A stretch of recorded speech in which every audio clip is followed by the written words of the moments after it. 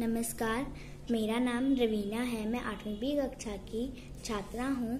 मेरे स्कूल का नाम सरकारी कन्या सीनियर सेकेंडरी स्मार्ट स्कूल, जिला लुधियाना है।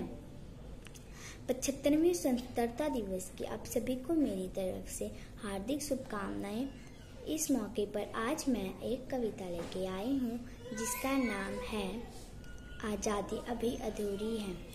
पंद्रह अगस्त का दिन कहता है पंद्रह अगस्त का दिन कहता है, आज़ादी अभी अधूरी है, सपने सच होने बाकी हैं, राखी की सपना पूरी है, राखी की सपना पूरी है, जिनकी लाशों पर ये घटघट आज़ादी भारत में आई है, वे हैं अब तक खान बदोसा गम की काली बदली छाई में, कलकत्ते के फुटपाथों पर कलकत्ते के फुटपाथों पर जो आंधी पानी सहते हैं, उनसे पूछो, पंद्रह अगस्त के बारे में क्या कहते हैं?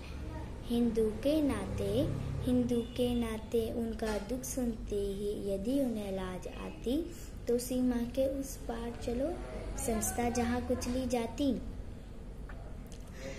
इंसान जहाँ बेचा जाता है, ईमान खरीदा जाता है इंसान जहाँ बेचा जाता है, ईमान खरीदा जाता है, इस्लाम सिंसकियाँ भरता है, डॉलर मन में मुस्कुराता है।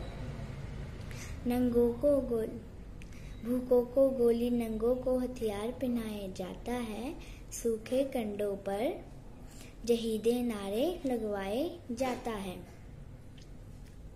लाहौर कराची ढाका पर मातम की है काली छाया पख्तनों पर गिलगित पर है, गमगीन गुलामी का साया। पख्तनों पर गिलगित पट है, गमगीन गुलामी का साया। बस इसलिए तो कहती हूँ, बस इसलिए तो कहती हूँ, आज़ादी अभी अधूरी है। कैसे उलास मनाऊँ मैं, कैसे उलास मनाऊँ मैं, थोड़े दिन की मजबूरी है।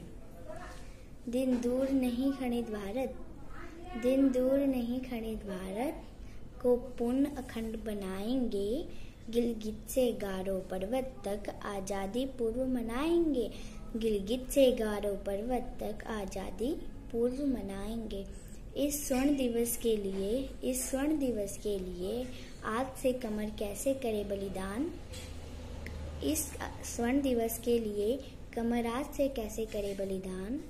जो पाया उसमें जो पाया उसमें खो ना जाए जो खोया उसका ध्यान करें।